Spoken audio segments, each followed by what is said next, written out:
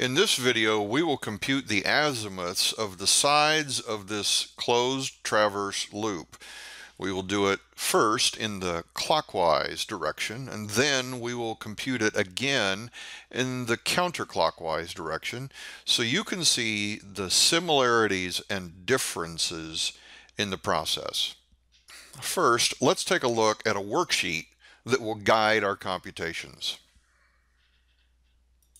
This worksheet is designed to organize a very repetitive calculation set. First, I want you to see there is an important question to be answered at the top of the sheet, and that is, will we be proceeding counterclockwise or clockwise?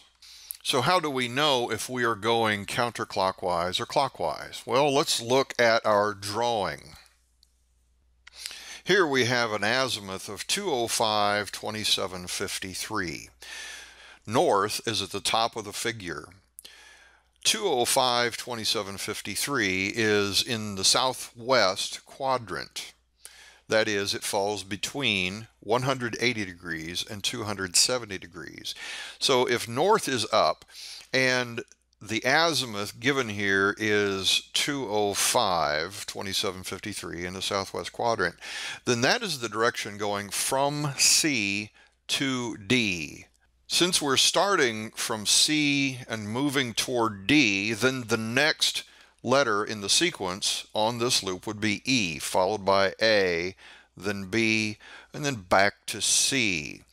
So when we go from C to D, E, A, B, and back to C, we are moving clockwise around this loop.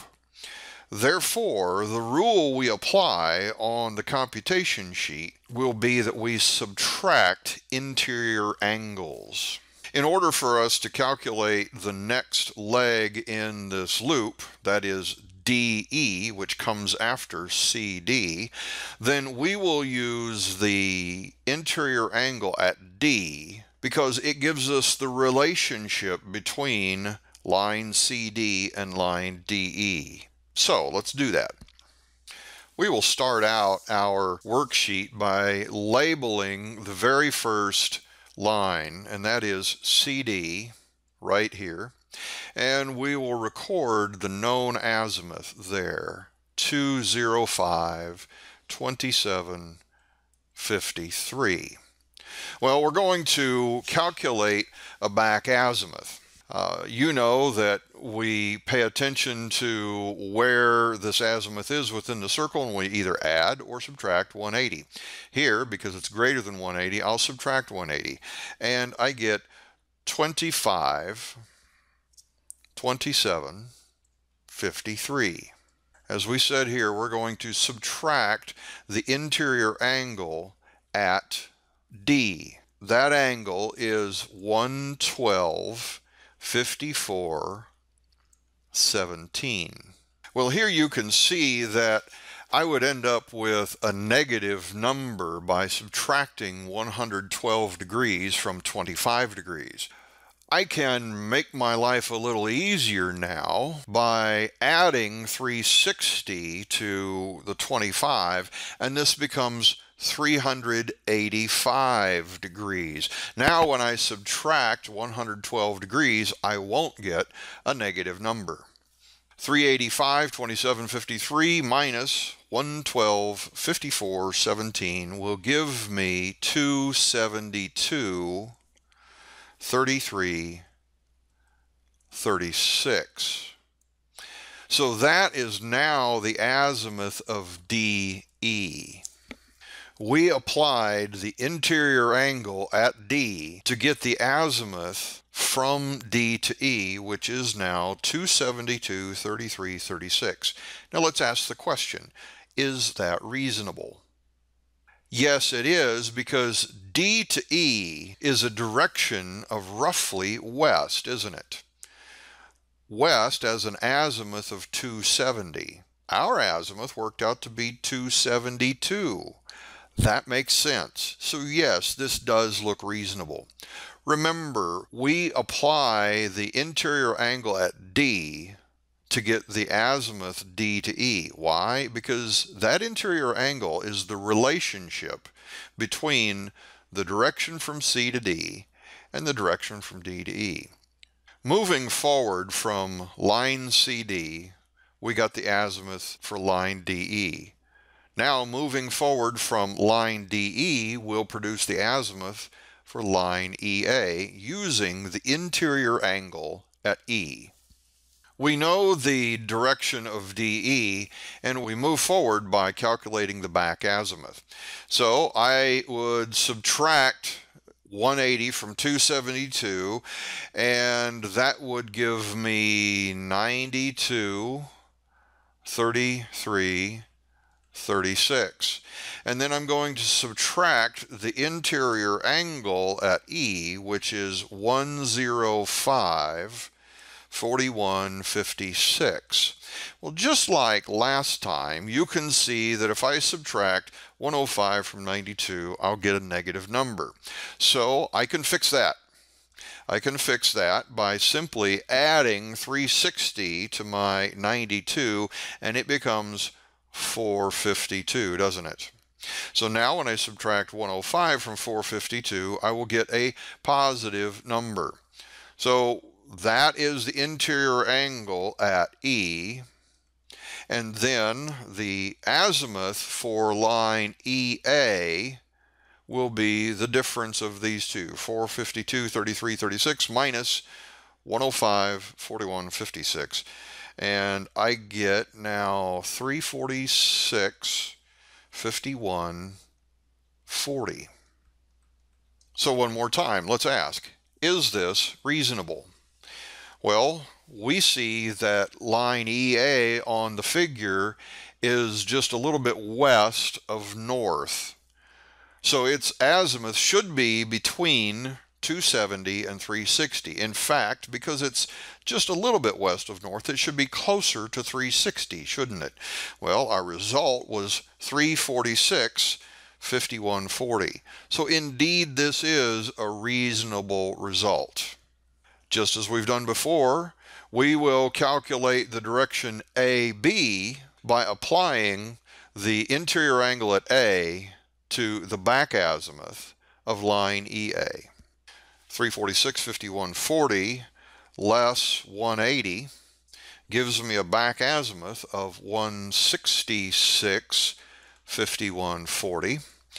And then when I apply the interior angle at A, I'm subtracting it because once again, I'm subtracting all my interior angles as I move clockwise around this loop.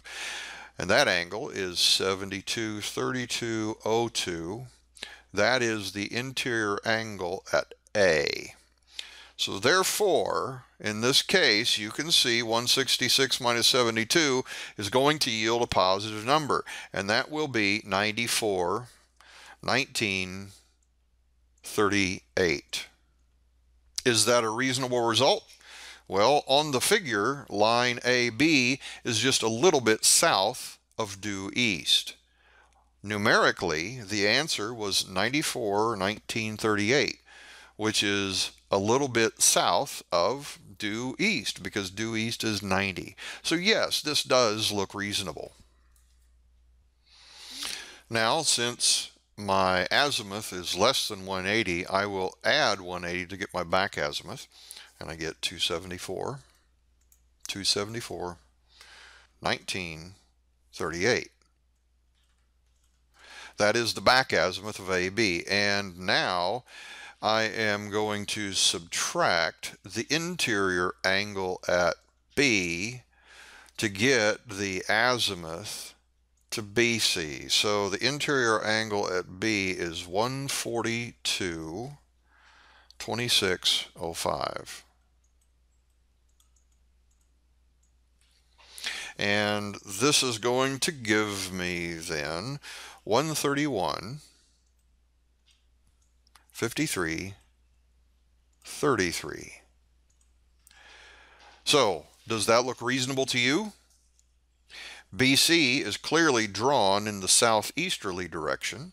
Our azimuth is between 90 and 180, so yes, this does look fairly reasonable. Well, at this point, we've solved all four of the missing sides, but now we need to perform a check. And that is, we need to, we need to determine if our computations indeed give us the same direction to CD as we started from. You see, we have only used four of the interior angles so far. We have not yet used angle C. So that is the fifth angle. Well, let's do that now.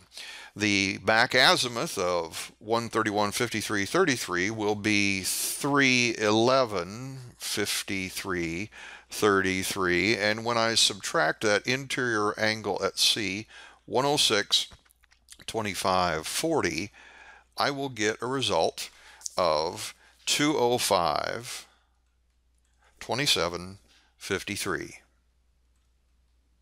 which certainly agrees with the starting azimuth. So yes, this is okay.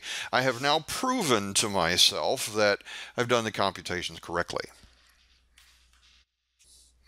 So far, we have computed this traverse loop in the clockwise direction. That is, we went from C to D to E, then to A, B, back to C, and D. Now, let's reverse this. So if we want to go counterclockwise, the direction that's given 205, 2753 must be reversed. We would find the back azimuth of that. So if we subtract 180 from that, we get 25, 27, 53. That would be the direction going from D to C.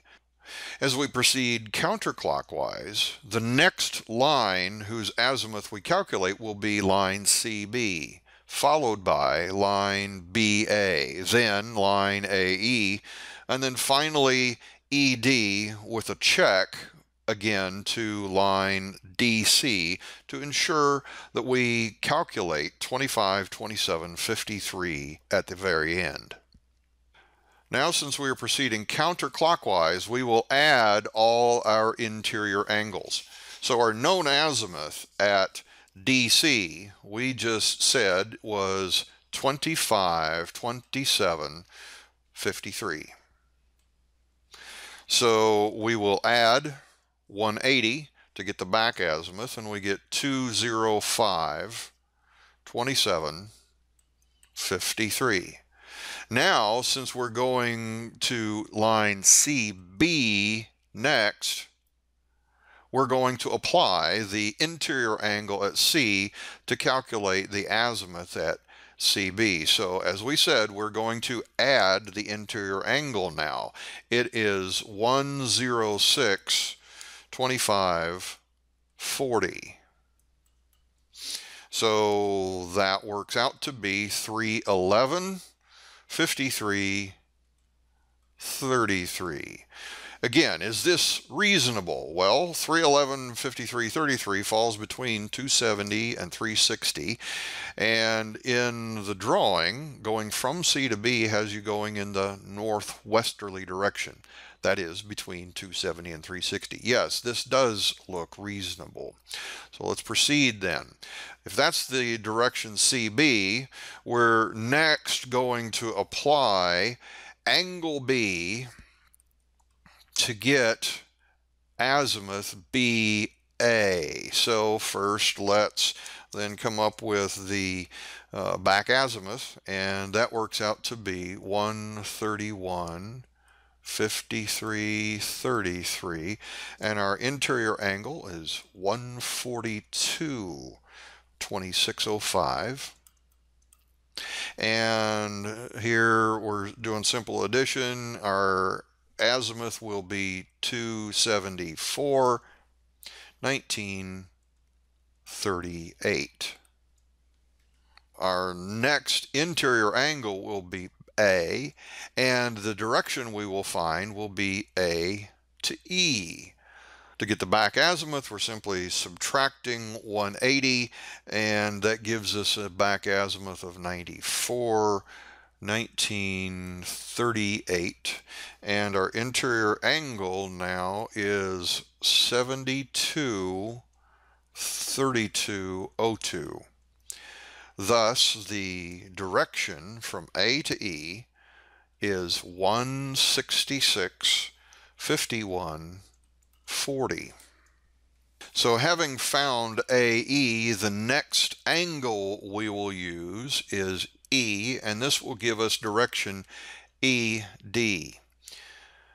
Well, the back azimuth of AE is 346, 51, 40.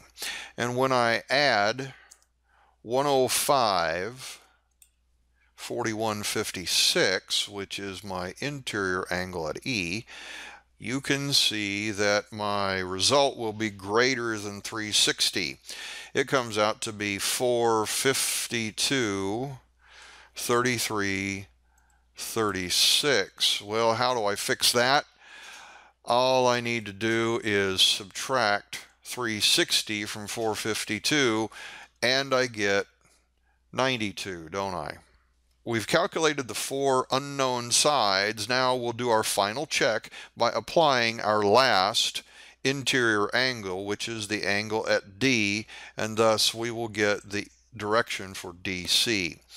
The back azimuth of 92, 33, 36 is 272, 33, 36 and then the interior angle there is 112 54 17 and this gives us an azimuth of 385 27 53 385 is not a valid azimuth so we will subtract 360 and we get 25, 27, 53, which is the number we started with. So what you've seen here is two different directions for calculating the azimuths in a loop like this. We have to have all the interior angles and we have to have one known azimuth. And for the two rules we applied in the counterclockwise direction, we added the interior angle to the back azimuth of the previous course. And then for the clockwise direction, we subtracted the interior angle from the back azimuth of the previous course. So remember, once you establish the direction, if it's counterclockwise, you will add all interior angles. Or if it is clockwise, you will subtract all interior angles by using the worksheet, you'll find the process organized, methodical, and will give consistent results.